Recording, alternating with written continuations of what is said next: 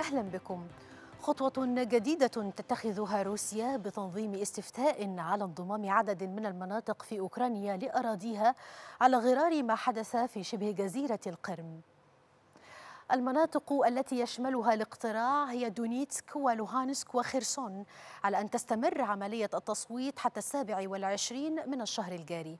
دونيتسك هي منطقة ذات أهمية استراتيجية لموسكو حيث تبلغ مساحتها نحو 26500 كيلومتر مربع أي ما يعادل نحو 4.4 من عشرة بالمئة من إجمالي مساحة أوكرانيا. هي مقسمة إلى 18 منطقة وتضم 52 مدينة و131 بلدة. اللغة الرئيسية في المنطقة هي الروسية. ويبلغ عدد سكانها الإجمالي نحو أربعة ملايين وثلاثمائة ألف نسمة. معظمهم من الأوكرانيين والروس إلى جانب قوميات أخرى كالتتارية والأرمنية. رغم مساحتها الزراعية الواسعة تعتبر دونيتسك منطقة صناعية إذ تشتهر بكثرة مناجم الفحم الحجري ومعامل الحديد والصلب والتي يعمل فيها معظم السكان.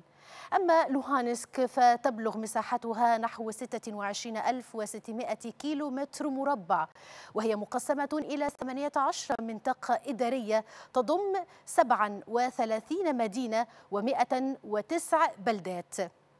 يبلغ عدد سكانها الإجمالي نحو مليوني ومئتي ألف نسمة وفقا لإحصاء عام 2014 ويشكل الأوكرانيون والروس معظم السكان وتتوزع النسبة الباقية على قوميات أخرى كالمنتسبين إلى مولدوفا وروسيا البيضاء والتتر والأرمن والأذريين. لوهانسك هي منطقة صناعية فيها الكثير من مناجم الفحم ومعامله كما يعتمد اقتصادها على شبكات وطرق ونقاط عبور البضائع من روسيا وإليها بسبب الشريط الحدودي الطويل معها. المنطقة الثالثة هي خرسون وهي الموطن الرئيسي لبناء السفن. تحظى بأهمية ومكانة استراتيجية كبيرة لدى الروس لاعتبارها ميناء مهم يطل على البحر الأسود ونهر دينيبرو كما أنها تتصل جغرافيا بمناطق حيوية ومهمة.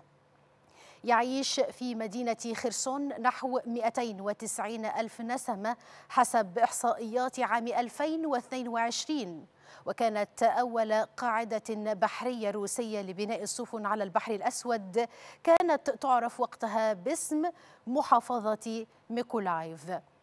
مشاهدينا الكرام كان هذا عرضا لأهم المناطق الأوكرانية التي تشهد استفتاء على الانضمام إلى روسيا.